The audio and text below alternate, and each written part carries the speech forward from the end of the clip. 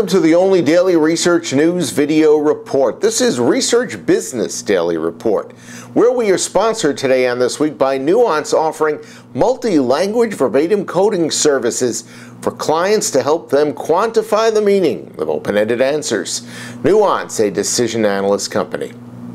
We've been at the market research event this week, which has given us the chance to greet many of the research industry's most influential personalities, such as Decipher Inc. President Kristin Luck, who spent a good part of her time here in Boca Raton investigating new technological offerings for our industry. And she discussed some of those with us.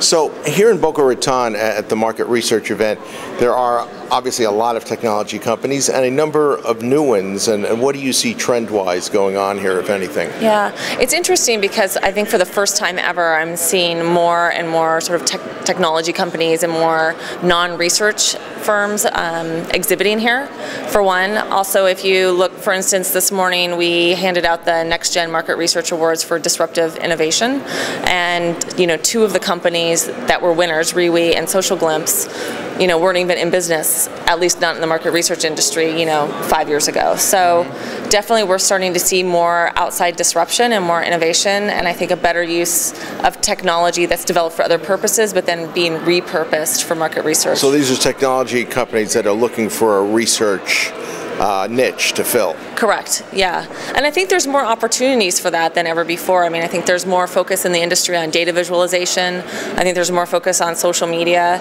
and really looking at different ways where we can harness you know, that secondary sort of data source versus just relying solely on primary data. I think as a pro and the con, uh, I like your opinion about this, about these technology companies that I just described as not having a research you know, function quite yet. On the one hand, yeah, they can kind of be flexible enough if they're good enough and find a place. But if I'm a venture capitalist putting money into a company and that company is coming to a research event, it would seem to me you go there with a research context in mind. Right. Well, that being said, I, I feel like there have been more technology companies successful at picking up on research than there have been research companies successful at picking up technology. And so I think it's I think the research skill set is is perhaps easier learned and I'm sure there's a lot of people that will disagree with me on that. Yeah. But I do feel like it's I I feel like traditionally it's been tougher for the research firms to really embrace and adopt new technologies. And so I think that there's you know, there's there's there's definitely a, a, a, meeting point there somewhere in the middle. And there's a lot of research companies that are very much me too, so they don't really have a strong research connection either. Yeah, absolutely. Um, but I think a perfect example of like a traditional research company, you know, um, embracing that that technology company is in with Nielsen's recent acquisition of Affinnova. I mean, Affinnova was one of the award winners today for disruptive innovation, and they've done an amazing job creating their optimizer product.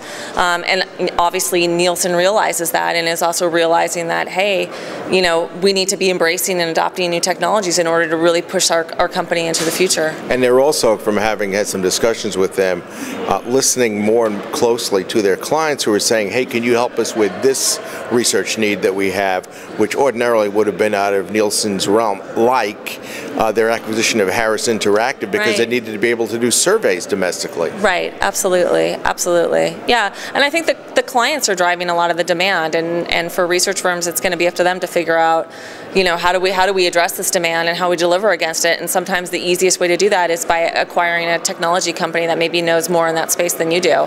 And then how do you apply those traditional research practices on top of it?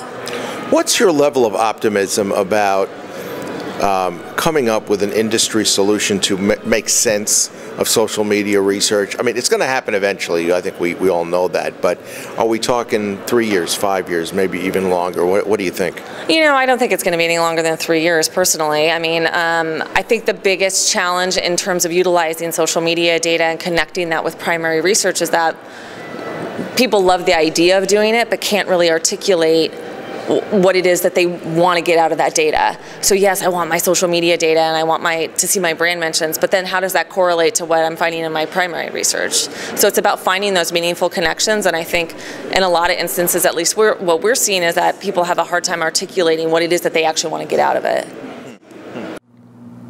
Thanks to Kristin for her time and her insights.